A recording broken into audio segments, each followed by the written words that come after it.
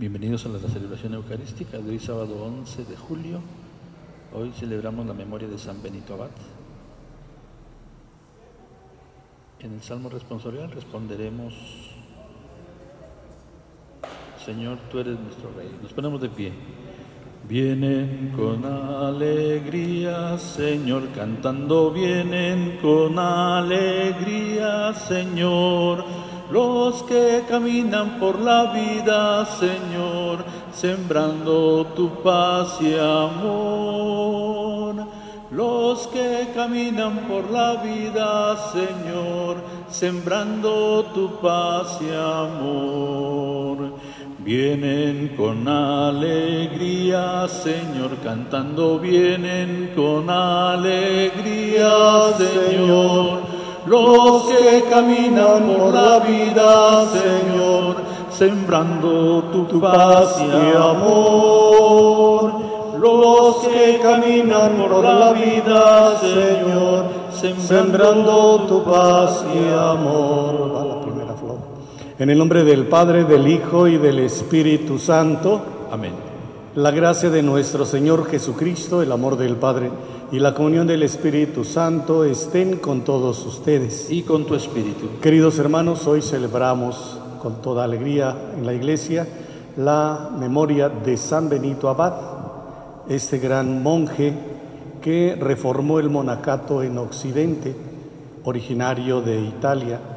Por eso saludamos a todos aquellos que llevan el nombre de Benito, de Benita incluso, y desde luego vamos a orar para que esta orden religiosa prospere en extender el reino de Dios a través de la vida monástica y desde luego como ejemplo de santidad para todos nosotros los cristianos. Así de que oramos por ellos, incluido yo también, para que siga Dios bendiciéndonos y acompañándonos por la intercesión de este gran santo.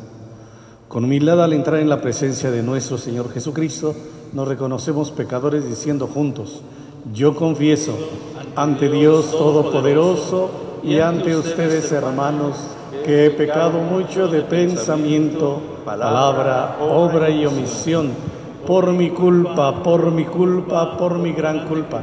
Por eso ruego a Santa María siempre Virgen, a los ángeles, a los santos y a ustedes, hermanos, que intercedan por mí ante Dios nuestro Señor. Dios Todopoderoso, tenga misericordia de nosotros, perdone nuestros pecados y nos lleve a la vida eterna. Amén. Amén. Señor, ten piedad. Señor, ten piedad. Cristo, ten piedad. Cristo, ten piedad. Señor, ten piedad. Señor, ten piedad. Oremos. Dios nuestro, que constituiste a San Benito Abad como ilustre maestro de la escuela del servicio divino, concédenos que, sin anteponer nada a tu amor, avancemos con un corazón generoso en el camino de tus mandamientos. Por nuestro Señor Jesucristo, tu Hijo, que vive y reina contigo en la unidad del Espíritu Santo y es Dios por los siglos de los siglos. Amén.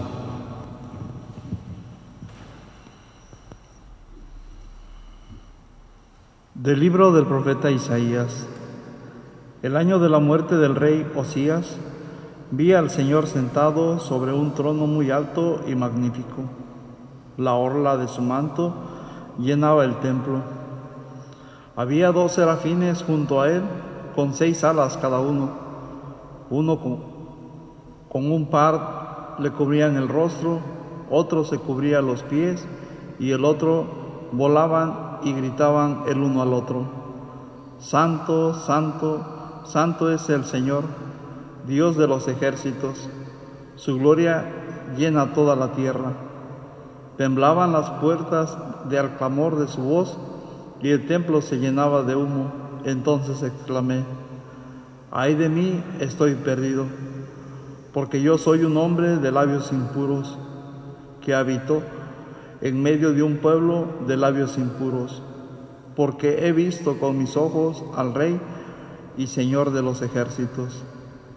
Después voló hacia mí uno de los serafines, llevaba en la mano una brasa que había tomado del altar con unas tenazas.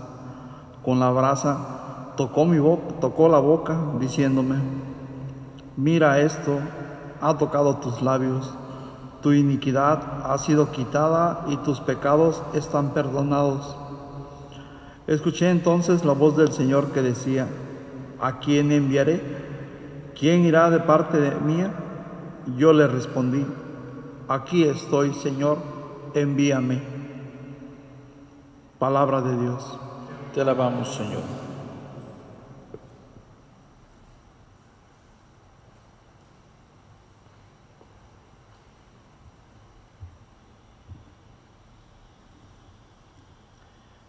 Señor, tú eres nuestro Rey. Señor, tú eres nuestro Rey. Tú eres, Señor, el Rey de todos los reyes. Estás revestido de poder Señor, tú eres nuestro Rey. Tú mantienes el orbe y no vacila. Eres eterno y para siempre. Está firme tu trono, Señor, tú eres nuestro Rey. Muy dignas de confianza son tus leyes, y desde hoy y para siempre. Señor, la santidad adorna tu templo.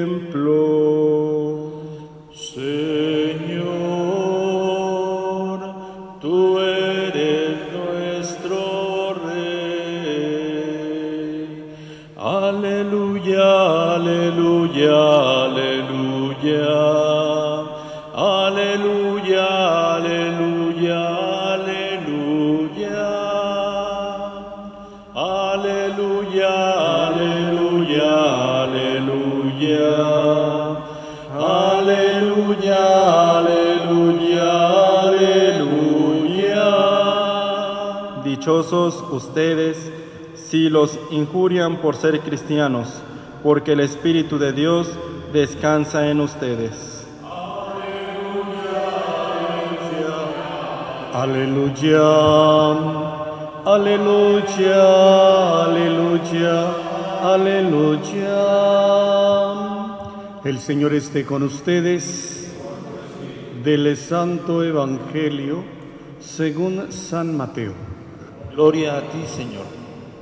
En aquel tiempo Jesús dijo a sus apóstoles, el discípulo no es más que el maestro, ni el criado más que su Señor. Le basta al discípulo ser como su maestro y al criado ser como su Señor. Si al Señor de la casa lo han llamado Satanás, ¿qué no dirán de sus servidores? No teman a los hombres, no hay nada oculto que no llegue a descubrirse, no hay nada secreto que no llegue a saberse. Lo que les digo de noche, repítanlo en pleno día, y lo que les digo al oído, pregónenlo desde las azoteas. No tengan miedo a los que matan el cuerpo, pero no pueden matar el alma. Teman, más bien, a quien puede arrojar al lugar de castigo el alma y el cuerpo. ¿No es verdad que se venden dos pajarillos por una moneda?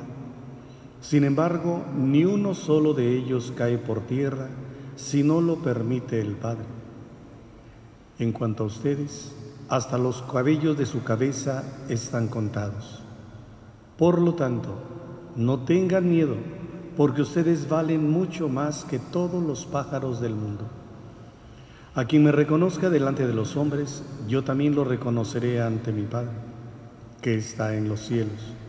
Pero al que me niegue delante de los hombres, yo también lo negaré ante mi Padre, que está en los cielos. Palabra del Señor. Gloria a ti, Señor Jesús. Tenga la bondad de sentarse, por favor.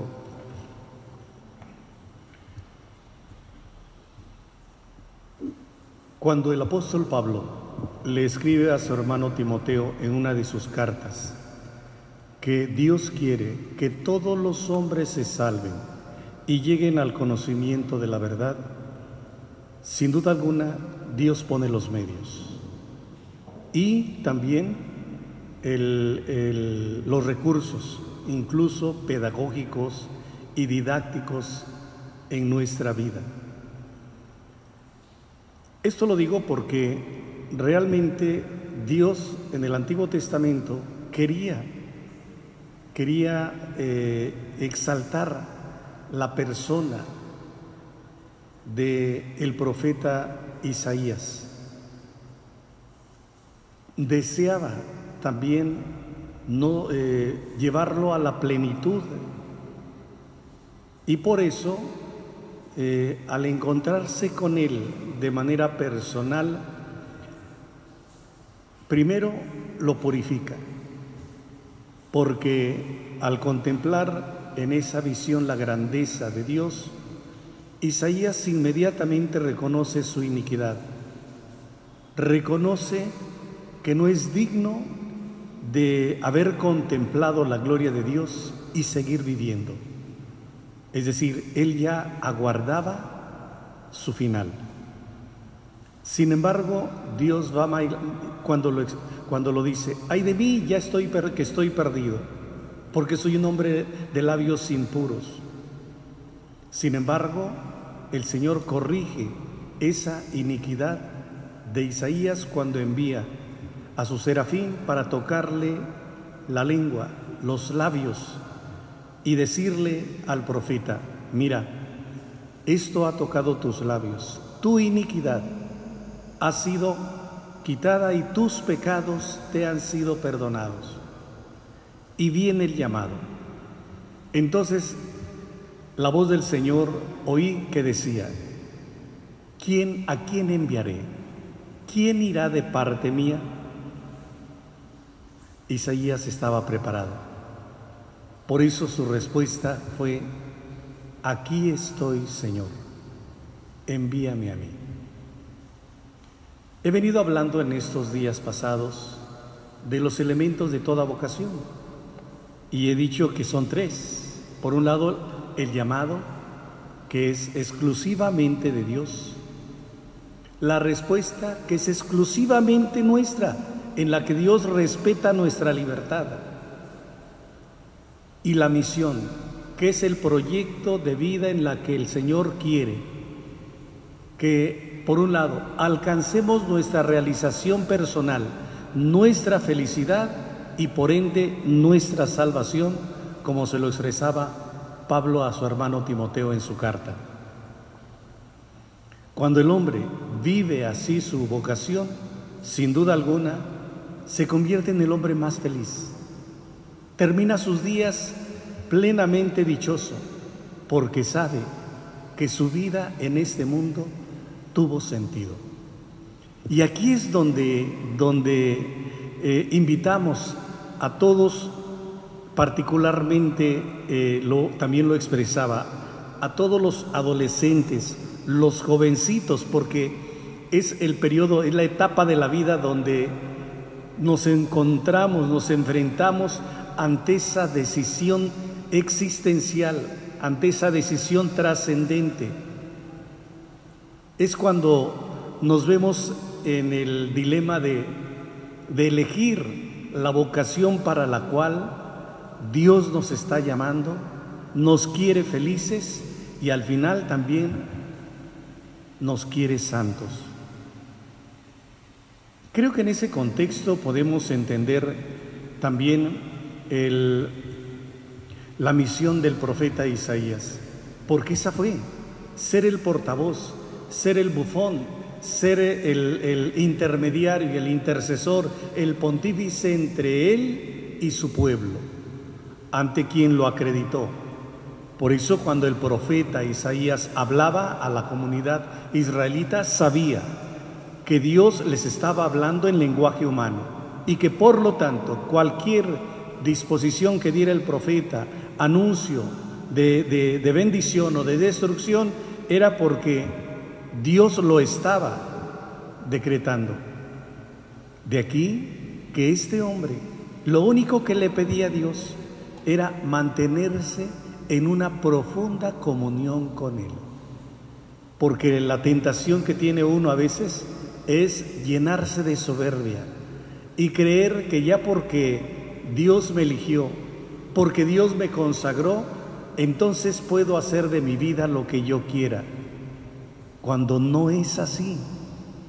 Creer y pensar que ya tengo todo el favor de Dios para hacer de mi vida lo que me venga en gana, no es así.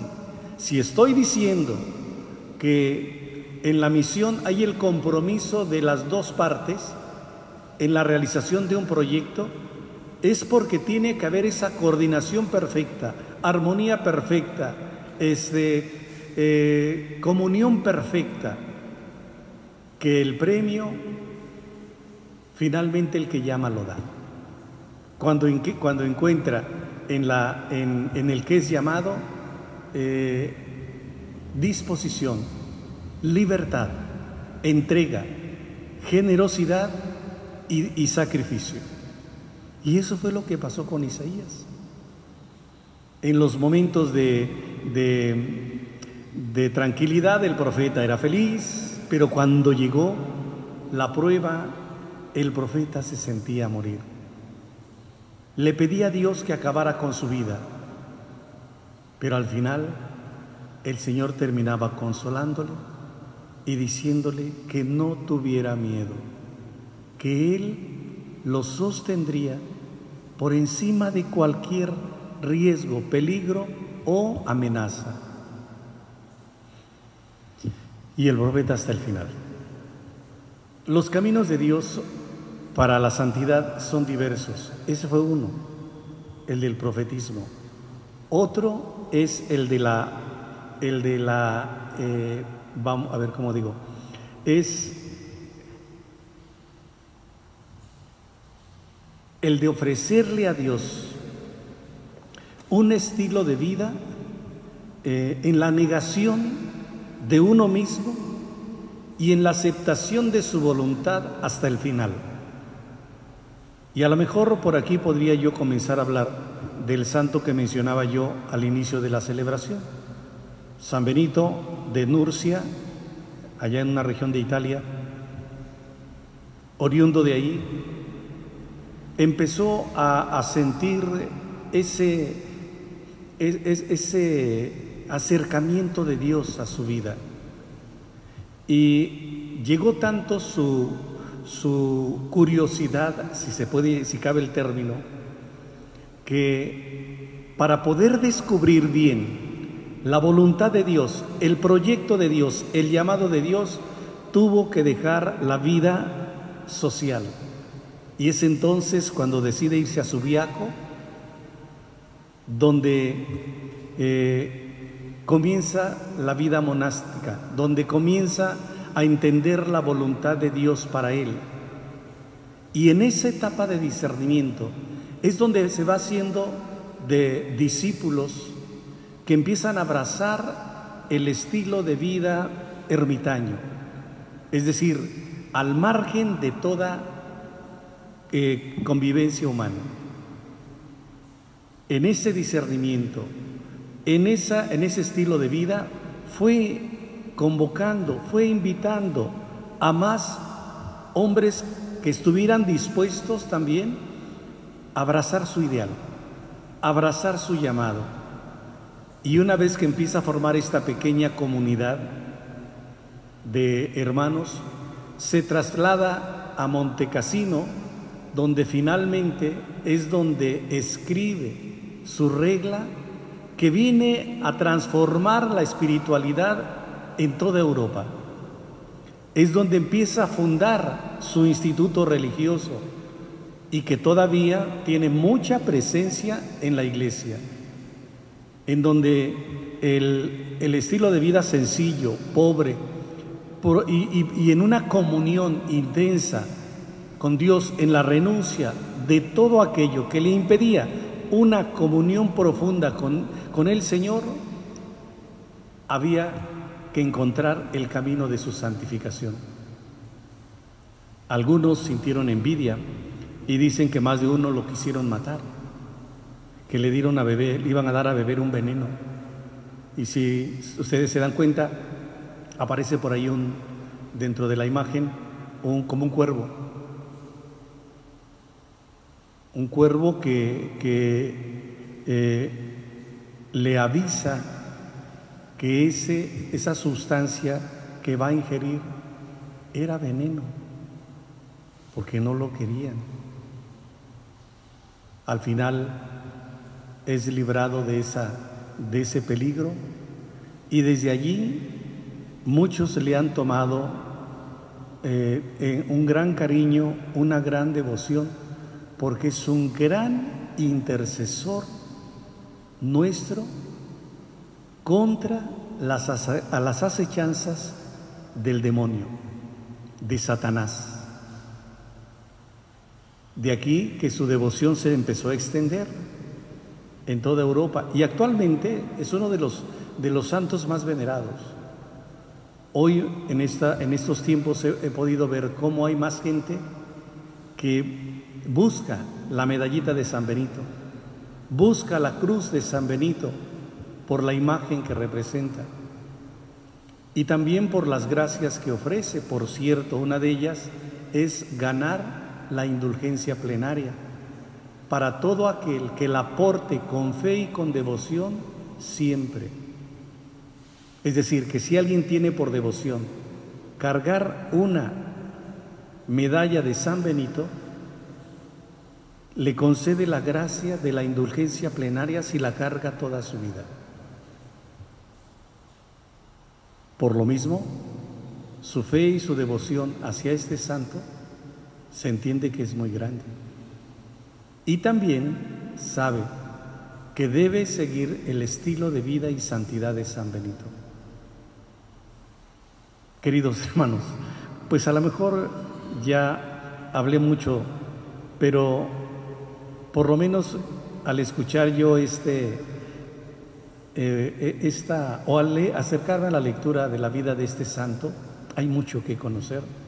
Me queda claro que cuando Dios llama a aquellos que quiere ponerlos a nuestro servicio, los dota de todas las gracias y bendiciones. De tal suerte que el hombre encuentra en esos personajes la ayuda espiritual necesaria para alcanzar su salvación y para encontrar el camino de salvación de su vida. Por eso, al continuar nuestra celebración, pues les recomiendo mucho, lean, conozcan la vida de este gran santo de Dios. Eh, acerquémonos a reconocer la acción salvífica en este hombre que renunciando a todo y al retirarse al silencio, a la vida ermitaña, inspirado por el Espíritu Santo, y al escribir su regla, le vino a dar, le vino, vino a oxigenar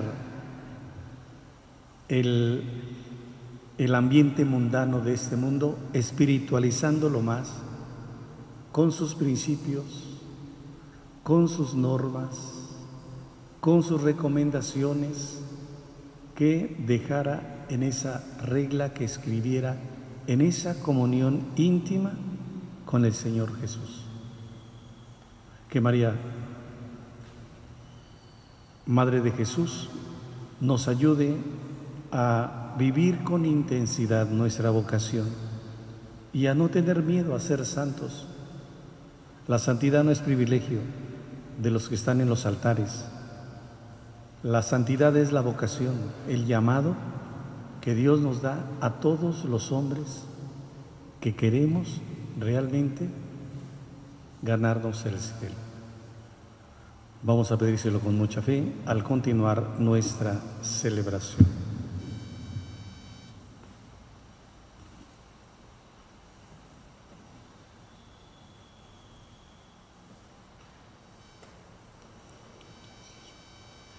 Acudamos, hermanos, con oración ferviente a Dios y pidámosle que, ya que se ha dignado contarnos entre el número de sus hijos, escuche también nuestras oraciones en favor de los monjes y de todos los hombres. Y a cada petición vamos a responder con fe diciendo, te rogamos, Señor. Te rogamos, Señor para que las diversas familias monásticas que siguen la regla benedictina, escuchando dócilmente los preceptos de su maestro e inclinando el corazón a sus palabras, acojan y pongan en práctica las invitaciones de su Padre entrañable. Roguemos al Señor. Te rogamos, Señor.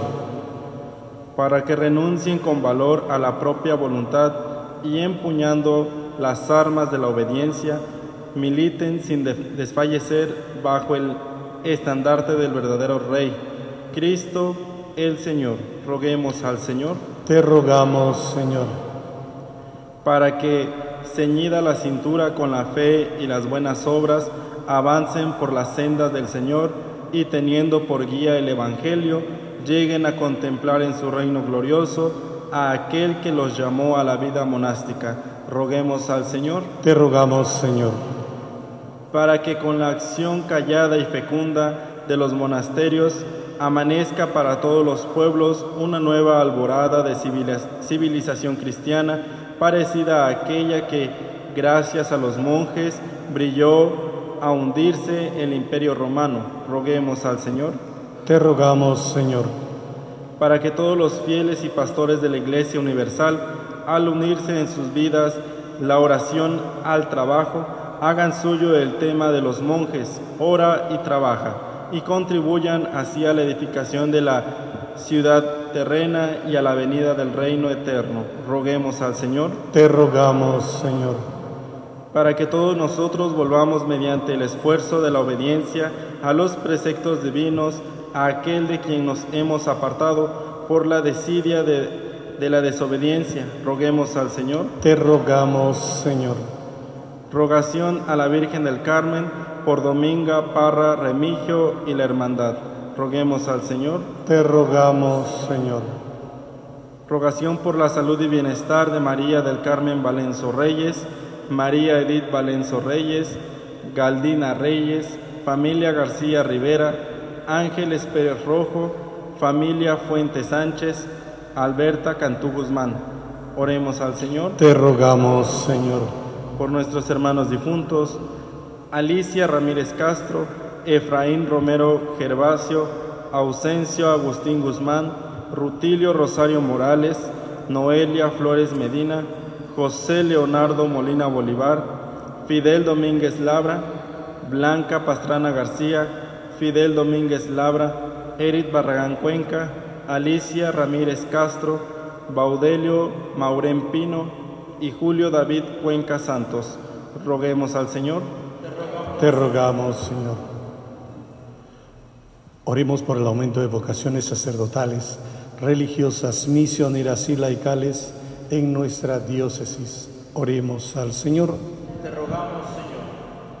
Por todas nuestras familias cristianas, para que sean verdaderas promotoras de estas vocaciones necesarias en la Iglesia Oremos al Señor. Te rogamos, Señor. Padre de inmensa bondad, que quisiste que San Benito fuera mensajero de paz, artífice de unidad, maestro de civilización, mensajero de Cristo y fundador de la vida monástica.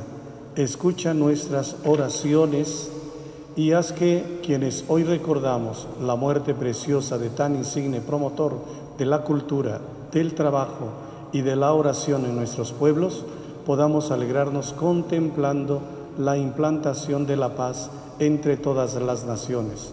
Por Jesucristo, tu Hijo, nuestro Señor. Amén.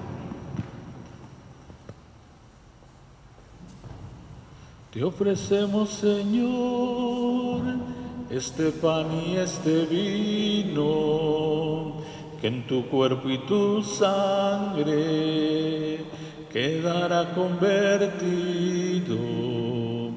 Te ofrecemos, Señor, este pan y este vino, que en tu cuerpo y tu sangre quedarán convertido. Todos juntos, Señor, te ofrecemos la vida, la ilusión de vivir, nuestro amor y alegría. Te ofrecemos, Señor, este pan y este vino, que en tu cuerpo y tu sangre quedarán convertidos. Te ofrecemos, Señor, este pan y este vino, que en tu cuerpo y tu sangre quedarán convertidos.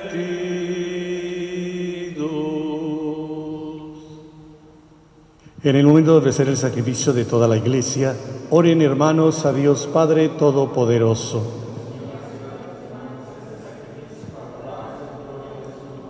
Para nuestro bien y el de toda su santa iglesia.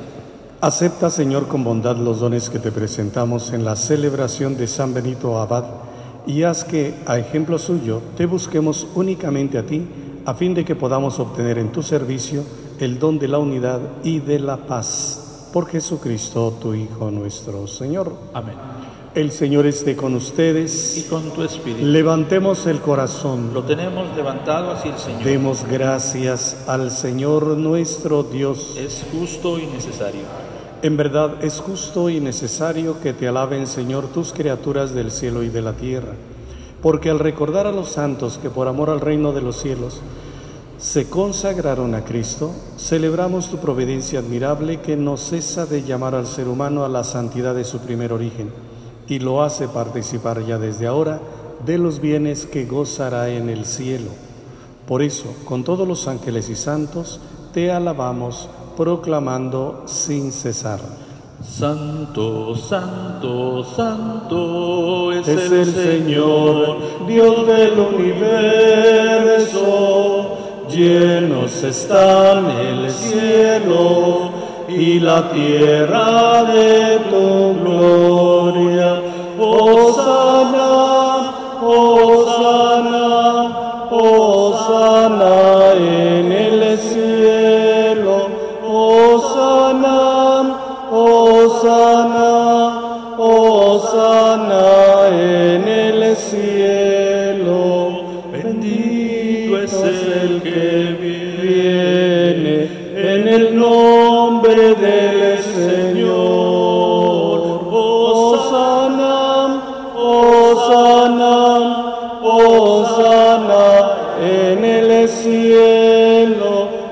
Hosana, Hosana, Hosana en el cielo. Santo eres en verdad, Padre, y con razón te alaban todas tus criaturas, ya que por Jesucristo, tu Hijo, Señor nuestro, con la fuerza del Espíritu Santo das vida y santificas todo, y congregas a tu pueblo sin cesar, para que ofrezca en tu honor un sacrificio sin mancha, desde donde sale el sol hasta el ocaso. de rodillas. Por eso, Padre, te suplicamos que santifiques por el mismo Espíritu estos dones que hemos separado para ti, de manera que se conviertan en el cuerpo y la sangre de Jesucristo, Hijo tuyo y Señor nuestro, que nos mandó celebrar estos misterios. Porque él mismo la noche en que iba a ser entregado tomó pan, dándote gracias te bendijo, lo partió y lo dio a sus discípulos diciendo, Tomen y coman todos de él, porque esto es mi cuerpo, que será entregado por ustedes. Señor mío y Dios mío, Señor mío y Dios mío.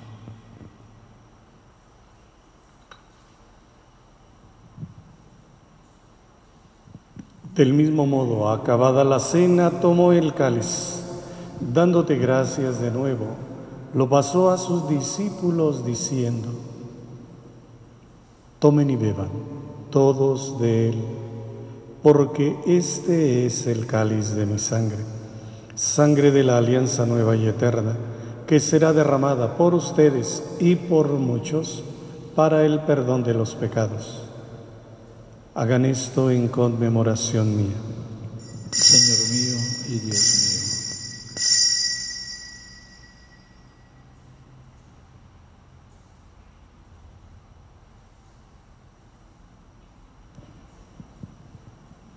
Este es el misterio de la fe. Anunciamos tu muerte, proclamamos tu resurrección.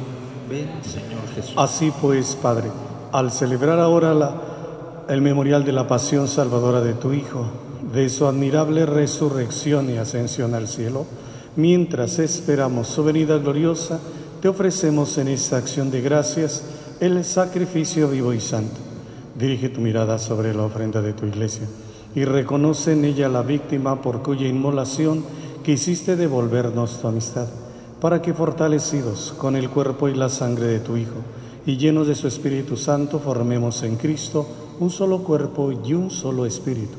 Que Él nos transforme en ofrenda permanente, para que gocemos de tu heredad junto con tus elegidos, con María, la Virgen Madre de Dios, su esposo San José, los apóstoles, los mártires, San Benito Abad y todos los santos por cuya intercesión confiamos obtener siempre tu ayuda.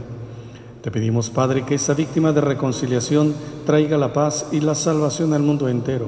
Confirme en la fe y en la caridad a tu iglesia peregrina en la tierra, a tu servidor el Papa Francisco, a nuestro obispo Salvador, al orden episcopal, a los presbíteros y diáconos y a todo el pueblo redimido por ti. Atiende los deseos y súplicas de esta familia que has congregado en tu presencia. Reúne en torno a ti, Padre misericordioso, a todos tus hijos dispersos por el mundo, a nuestros hermanos difuntos y a cuantos murieron en tu amistad, recíbelos en tu reino, donde esperamos gozar, todos juntos, de la plenitud eterna de tu gloria. Por Cristo, Señor nuestro, por quien concedes al mundo todos los bienes por Cristo, con Él y en Él, a ti Dios Padre Omnipotente, en la unidad del Espíritu Santo, todo honor, toda gloria, por los siglos de los siglos. Amén. El amor de Dios ha sido derramado en nuestros corazones con el Espíritu Santo que se nos ha dado. Por eso digamos ahora llenos de fe y de esperanza. Padre nuestro, que estás en el cielo, santificado sea tu nombre, venga a nosotros tu reino, hágase tu voluntad en la tierra como en el cielo. Danos hoy nuestro pan de cada día, perdona nuestras ofensas como también nosotros perdonamos a los que nos ofenden. No nos dejes caer en la tentación y líbranos de todo mal. Amén. Líbranos de todos los males, Señor, y concédenos la paz en nuestros días para que ayudados por tu misericordia vivamos siempre libres de pecado y protegidos de toda perturbación mientras esperamos la gloriosa venida de nuestro Salvador Jesucristo. Tuyo es el reino, tuyo el poder y la gloria por siempre, Señor. Señor Jesús, que dijiste a tus apóstoles, la paz les dejo, mi paz les doy. No tengas en cuenta nuestros pecados, sino la fe de tu iglesia Conforme a tu palabra, concédele la paz y la unidad. Tú que vives y reinas por los siglos de los siglos. Amén. Que la paz del Señor esté siempre con ustedes. Y con tu espíritu. Pues guardando nuestra sana distancia, nos ofrecemos un saludo de paz. Cordero de Dios, que quitas el pecado el pecado del mundo. ten piedad. Cordero de Dios, que quitas el pecado, el pecado del mundo, ten piedad. Cordero de Dios, que quitas el pecado, el pecado del mundo, danos la paz, danos la paz. Danos la paz. Este es Cristo el Cordero de Dios que quita el pecado del mundo. Dichosos los invitados a este banquete del Señor. Señor, no soy digno de que tú entres en mi casa, pero una, pero una palabra tuya bastará para sanarme. sanar.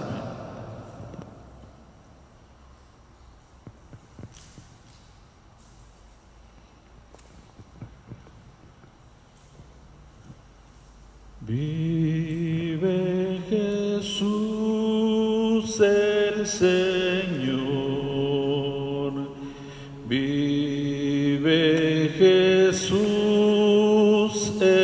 El Señor. Vive Jesús el Señor.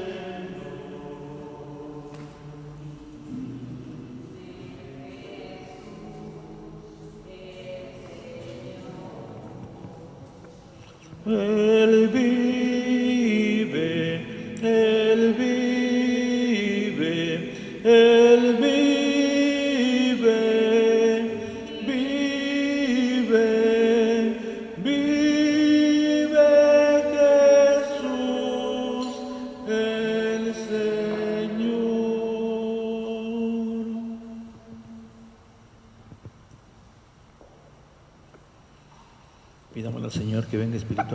corazón en este momento, que no podemos recibirlo sacramentalmente. Digámosle juntos, creo Señor Jesús, que estás realmente presente en el Santísimo Sacramento del altar. Te amo sobre todas las cosas y deseo recibirte.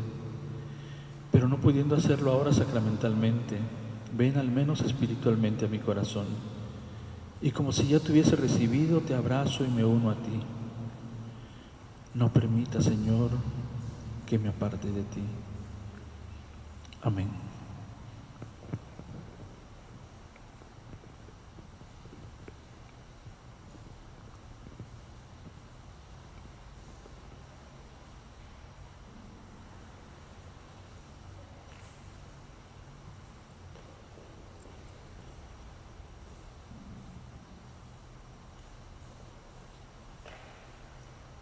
Oremos.